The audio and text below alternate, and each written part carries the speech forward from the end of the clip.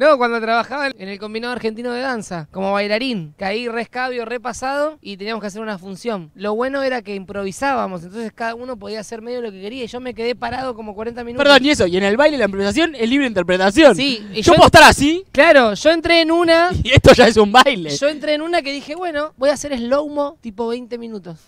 Pero claro, de vago mal. Y entonces era estar, era arrancabas así Igual está bien, ¿eh? Igual lo hace increíble. y me cruzaba todo el escenario. Che, es bu- es buena, ¿eh? Sí, sí, yo sí, compro. Ahí metía un cambio de velocidad. Nada, y encima con más gente en el escenario suma sí, eso, ¿eh? sí, Como yo hay compro, compro, compro, hacer compro, esto. compro, compro, compro. ¿Eso de resaca? Sí, porque era lo único que podía hacer. Claro, y era, después para me no podía tirar en el tanto. piso y tipo inteligente. hacía como Estuviste inteligente, boludo. interpretando ahí, ¿entendés? Sí, Esto se llama componer en el espacio. No, eso se llama sos un vago de mierda que fuiste saliste cuando no tenías que salir. Exactamente, pero bueno, lo, lo utilicé a mi favor, ¿entendés?